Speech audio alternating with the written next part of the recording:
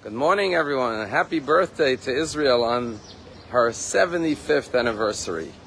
But actually, Israel is a lot older than 75 years old. Israel is called Eretz Yisrael, the land of Israel. And the five letters of the word Yisrael is an acronym. It's the initials of our three patriarchs and four matriarchs. The Yud of Yisrael stands for Yitzchak and Yaakov. The Shin stands for Sarah. The Resh stands for Rivka and Rachel. The Aleph stands for Avraham. And the Lamed stands for Leah. So the land of Yisrael is the land of Abraham, Isaac, and Jacob, Sarah, Rebecca, Rachel, and Leah. And indeed, it was when Abraham was 75 years old that God told him, Lech lecha, go to the land that I will show you and I will give it to you and your descendants.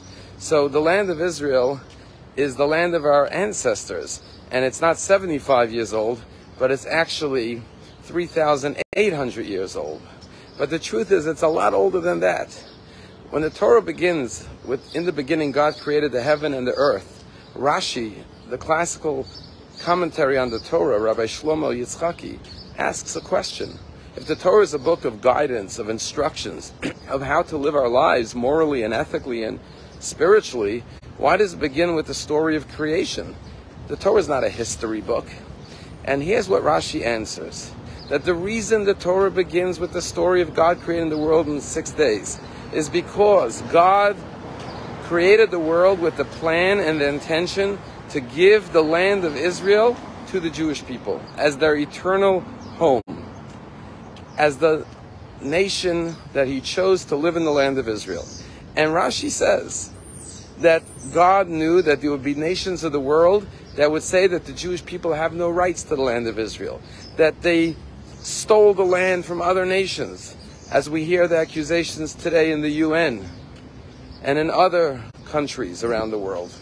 And therefore, God begins with the story of creation to illustrate and to demonstrate and to proclaim that God is the creator of the whole world, and therefore the world belongs to God. God is the landlord. And therefore, God says, Since I created it, I can choose to whom to give which piece of land. And I chose to give the land of Israel to the Jewish people.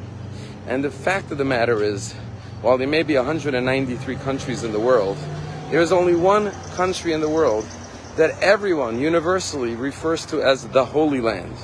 And that's the land of Israel, known as the Holy Land. Why is it the Holy Land? There's only one reason because the Torah says that it's the Holy Land. The Torah says that God chose it from all the lands and chose to give it to the Jewish nation. And so when they call it the Holy Land, it's a recognition that this land has spiritual value and holiness that no other country has, and it's only so because God imbued it with that holiness. And that's what Israel does. Israel is not just a beautiful country a lovely country, which is most, one of the most phenomenal success stories in modern history. But much more than that, it's a place that draws out the holiness of the Jewish people. When we come to the land of Israel, it brings out our higher godly selves and allows us to express ourselves more Jewishly, proudly as a nation and how fortunate is our generations from all the generations that we are witnessing the biblical prophecies of the return to Israel, the miraculous return that all the prophets foretold, and that we and our children and our grandchildren can visit Israel and see with their eyes what our ancestors prayed for for generations in diaspora. Next year in Jerusalem, we can go to Jerusalem and see the city alive with Jewish pride and kiss the stones of the Western Wall and pray there as our ancestors did thousands of years ago.